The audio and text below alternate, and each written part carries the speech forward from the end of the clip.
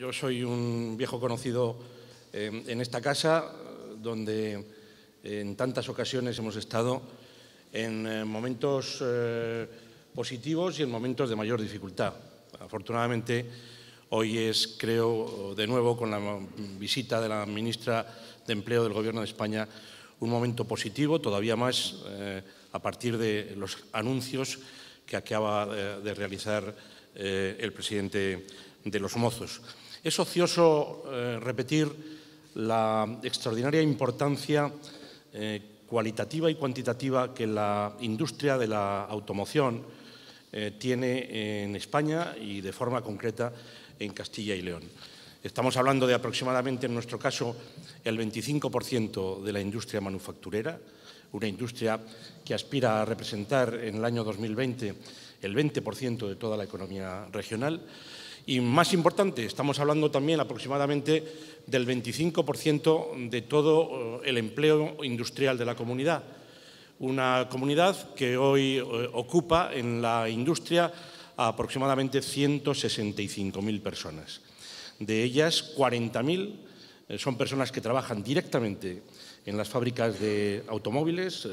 de montaje. No olvidemos, ministra, hoy la estrella de la visita ha sido lo que siempre nos ha explicado José Vicente, el corazón de la presencia del grupo eh, Renault de la Alianza en Castilla y León, que es la fábrica de motores. Ese millón y medio de motores que aquí se producen eh, anualmente significan aproximadamente el 40% de todos los motores que el grupo necesita en el mundo. Démonos cuenta de qué datos estamos eh, hablando. Y, por tanto, estamos hablando de 40.000 empleos directos en el sector de la automoción, con el sector de los componentes, también fundamental, cuanto le insistimos a, José Vicente, que es eh, imprescindible eh, vincular esa cadena de valor de nuestros fabricantes de componentes. Por cierto, algunas de ellas empresas multinacionales muy importantes en un sector global y mundial como es el de la automoción, pero que tienen también una base industrial muy potente aquí, con lo que representa Renault.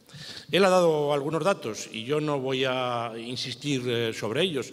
Quizá el más significativo es que eh, en, aquel momento, que era todavía un momento de mucha dificultad también para los propios proyectos, aunque ya se había lanzado el primer plan industrial y hablábamos ya del segundo plan industrial, eh, estábamos en algo más de 7.000 empleos directos en el grupo en Castilla y León y hoy estamos hablando de 13.000. 13.000 y, por tanto, un crecimiento muy representativo de lo que ha sido el crecimiento durante estos años del empleo industrial también en el sector de la automoción. Pero aquí se ha producido algo muy importante, muy significativo, algo que ha pasado ya a través de los medios de comunicación e incluso a través de libros especializados en crisis industrial y en, políticas industriales y en política de reindustrialización. Aquí se ha construido sobre la base del, del entendimiento, del trabajo conjunto, del sentido de responsabilidad, un conjunto de soluciones que se han llamado planes industriales que han determinado que un grupo mundial, como es eh, Renault y como es la Alianza, que podían haber eh, decidido realizar sus inversiones, la asignación de nuevos modelos, su apuesta por la I +D, su apuesta por la formación en cualquier lugar del mundo y que, sin embargo, lo han hecho aquí. Y lo han hecho en esas tres oleadas, en esos tres planes que fueron los del año 2009, un año muy complicado, lo saben perfectamente los miembros del comité de empresa que, que, nos acompañan, qué complicado, lo saben los ciudadanos de Valladolid, lo saben los medios de comunicación, que no de alguna manera estábamos empezando a percibir las primeras consecuencias de la gravísima crisis iniciada en el año 2008 y qué alarma social, eh, qué alarma política, qué alarma económica eh, se puso ante la supervivencia de lo que también en una fábrica de automóviles es lo más importante, que es las líneas de, de montaje de automóviles. Plan industrial del 2009, Plan industrial del 2012 y finalmente Plan industrial del 2016. Mm, tenemos aquí mm, algunos de los frutos de esos planes industriales, porque es verdad que lo más espectacular, recuerdo cuando visitamos en Francia eh, el prototipo del Twizy y lo más espectacular de los planes industriales son los nuevos vehículos, pero es verdad que, la carga de trabajo, especialmente en el caso concreto de los motores, pero en tantos otros aspectos, hoy has anunciado unas nuevas actividades industriales, em, yo creo que marcan un, contenido muy importante que se ha sustentado en, en algo que no es mágico, pero que al final es lo que hoy nos permite estar aquí eh, con datos positivos, esperanzados y con un profundo agradecimiento. En primer lugar, el, sentido de corresponsabilidad, eh, la, aportación de empresa y de trabajadores. Aquí eh, ha habido mucho sentido de responsabilidad. Aquí ha habido mucha visión de futuro. Aquí ha habido em, negociación, pero también capacidad de llegar eh, a acuerdos. Aquí se ha exigido y se seguirá exigiendo, lo sabes bien, José Vicente, compromisos y cumplimiento de compromisos en esa nueva carga de trabajo eh, en lo que eh, en un sector como este no existe casi medio plazo. Aquí estamos hablando del corto plazo y tendremos que empezar a pensar, porque hablamos primero de Valladolid, luego hablamos de Palencia, luego volvimos a hablar fundamentalmente de Valladolid y, también de Palencia en algún aspecto que tú has destacado, pero ahora tendremos que volver a hablar de, carga de trabajo más allá del 2020 y del 2021, futuros modelos, futuras plataformas también para, para seguir creciendo en el caso concreto de Palencia. Y ha habido eh, mm, planes industriales, carga de trabajo, trabajo intenso, trabajo tecnológico, trabajo cualificado. Ha habido acuerdos sociales muy importantes, muy significativos. Ha habido mm, lo que se llama eh, ajuste, flexibilidad, eh, compromisos, renuncias por todas partes pero podéis estar muy orgullosos porque el fruto hoy al final es una previsión de trabajo, pero sobre todo esa multiplicación de eh, los puestos de trabajo eh, de 7.000 a 13.000.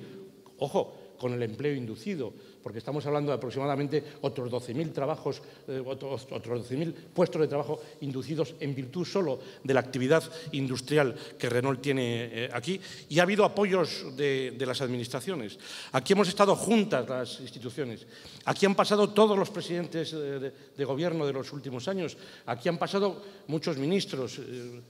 yo creo que Fátima es, la que repite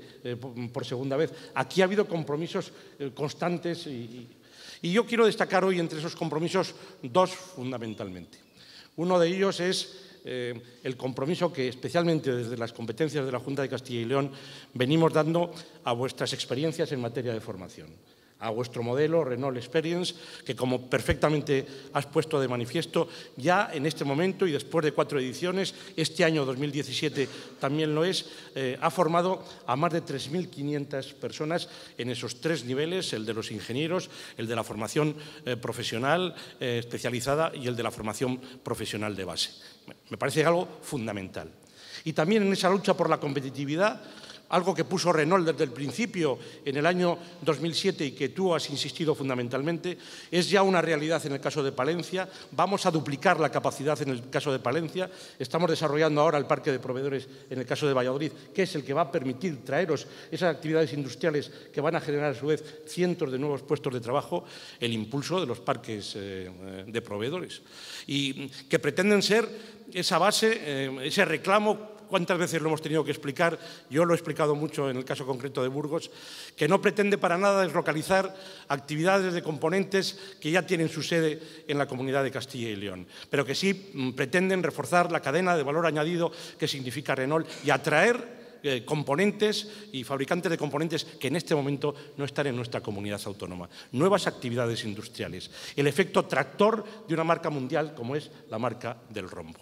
Y en definitiva, ese triple esfuerzo de entendimiento entre trabajadores y empresa, de compromiso de la empresa para ir anunciando eh, planes industriales con nuevos modelos, con carga de trabajo, que hemos ido visualizando, que los primeros que han visualizado son los trabajadores, que exige a los trabajadores una adaptación constante a esas nuevas cargas de trabajo, a esa mayor tecnología. Y finalmente, el acuerdo unánime de las administraciones, ¿qué podemos hacer las administraciones cuando hay acuerdo entre trabajadores y empresa y cuando la empresa, grupos mundiales, se comprometen con nosotros más que estar ahí y ayudar, esa es una fórmula eh, válida, no, no solamente es una fórmula válida, sino que es una fórmula invencible. Una fórmula invencible que, de nuevo, gracias al compromiso, en este caso de la alianza Nissan-Renault, En segundo lugar, gracias al sentido de responsabilidad de los trabajadores de Nissan Ávila, que han tenido que estudiarlo, que han tenido que apreciarlo, que han tenido que exigir que se les aclarara.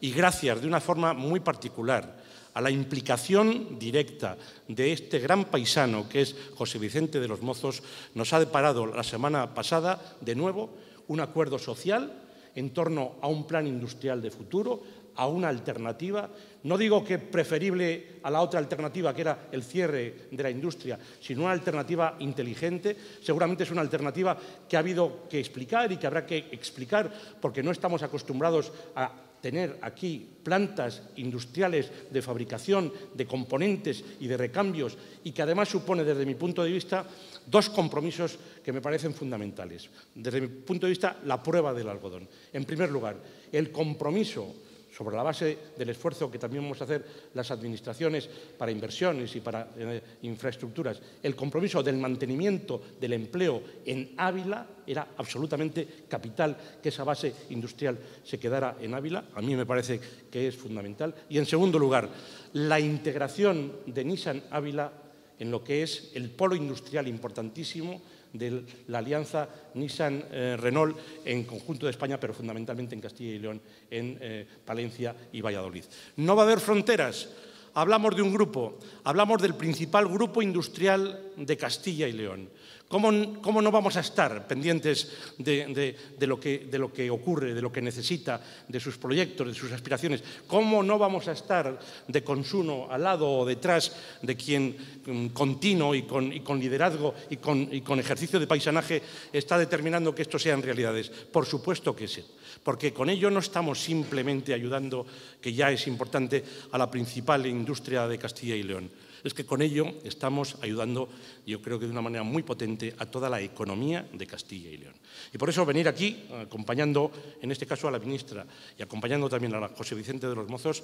es no solamente una obligación como gobierno regional, querido Carlos, sino también una gran satisfacción, porque este es un modelo de trabajo, es un modelo de acción, es un modelo que nos ha servido en momentos muy complicados, muy delicados, en momentos de gran alarma, es un momento en el que, en definitiva, hoy podemos ver cómo está contribuyendo al escenario de crecimiento económico y de creación de empleo en la propia comunidad autónoma. Y estando aquí y ayudando a esto, estamos impulsando la economía regional. Y estamos diciéndoles a los trabajadores, a los directivos y a los responsables de la marca que se lo agradecemos, que de verdad merece la pena, que estamos hablando de muchos miles de puestos de trabajo, de otros muchos miles de puestos de trabajo indirectos e inducidos, de un sector clave en la economía regional, de un sector que es muy potente en innovación, también en formación, en cualificación de los trabajadores, de un sector que está determinando en los últimos años que Castilla y León se haya situado a la cabeza del crecimiento de la producción industrial de España y de un sector que es el que está impulsando todavía más el que nuestra comunidad también en los dos últimos años se haya situado a la cabeza en el crecimiento de las exportaciones de las comunidades autónomas de España. Creo que son hechos suficientemente contundentes y suficientemente positivos para estar hoy aquí, para acompañar a la ministra y para darle la gracias personalmente, yo lo quiero hacer, a José Vicente de los Mozos, a todos tus directivos y, por supuesto, a todos, a todos los trabajadores, ya podemos decir, del grupo y de la alianza Renault-Nissan en Castilla y León, entre los cuales hoy están muy presentes en nuestro corazón los trabajadores de Nissan Ávila. Muchas gracias a todos.